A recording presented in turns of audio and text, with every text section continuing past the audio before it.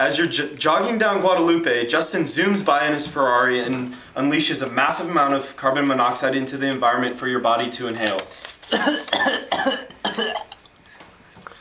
Carbon monoxide is a minor product of incomplete combustion of carbon in carbon containing compounds and binds very strongly to the iron atoms in the hemoglobin.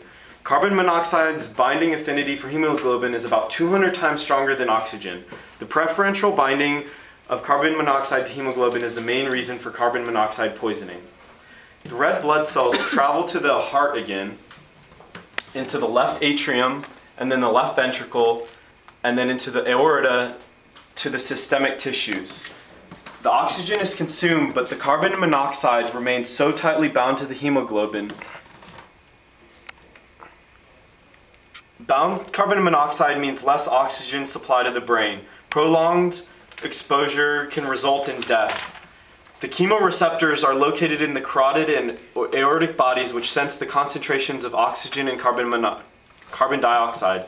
If adequate oxygen isn't being supplied to the body, especially the brain, the body will respond by increasing cardiac output and ventilation rate in an attempt to deliver more oxygen to the tissues. Treatment would include exposure to high concentrations of oxygen. Then the red blood cell goes back to the lungs, and the carbon monoxide binds so tightly as to prevent the oxygen exchange.